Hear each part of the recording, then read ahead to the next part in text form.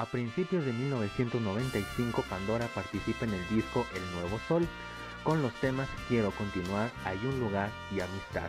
Esto con el fin de apoyar la infancia a través de UNICEF México. Quiero continuar, quiero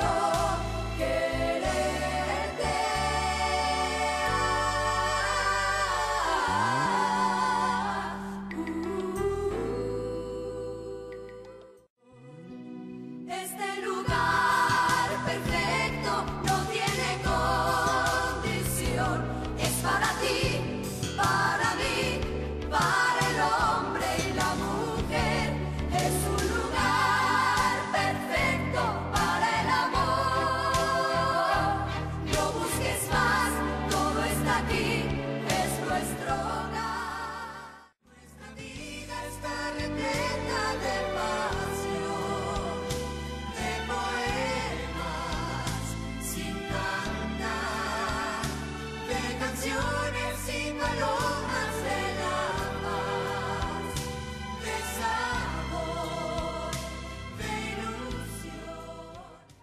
Posteriormente el amor entraría a la vida del grupo y es que el primero de julio Liliana se casa con José Sánchez.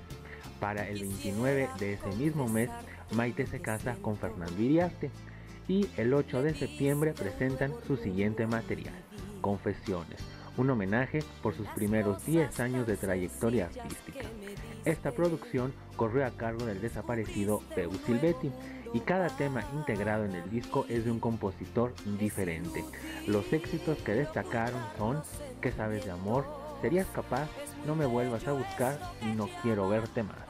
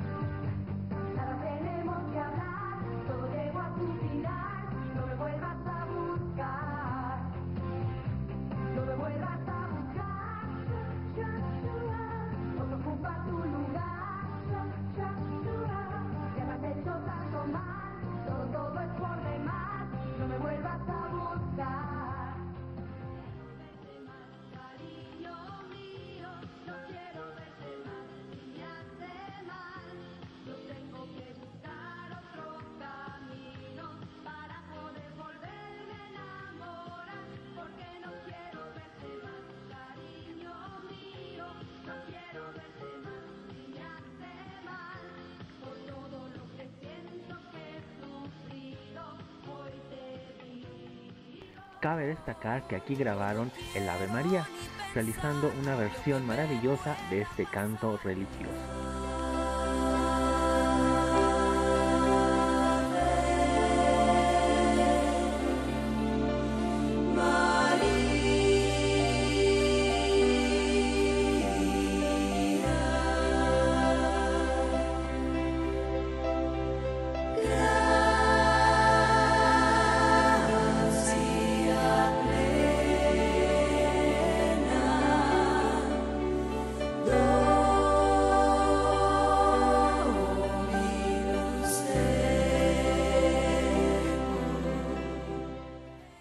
Por su parte, Fernanda se convierte en madre de su primera hija, de nombre María, y para 1996, con motivo de los Juegos Olímpicos celebrados en Atlanta, la compañía EMI lanza Voces Unidas, donde Pandora participó con el tema Con la antorcha en la mano.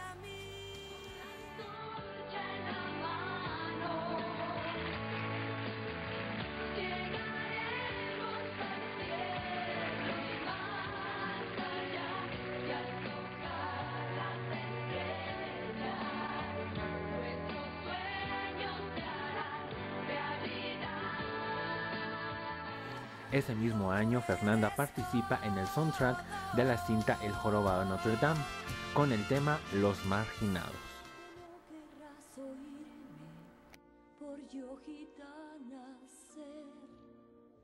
Creo que no sabré implorarte, no te puedo ver. Siempre me hallo marginada, no vivo con virtud.